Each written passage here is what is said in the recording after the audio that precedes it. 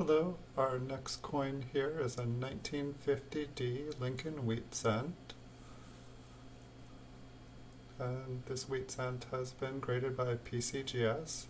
They graded it MS64 red, so it's a mint state 64 red coin. It's uh, from the Denver Mint. And I'm going to put this one up on eBay.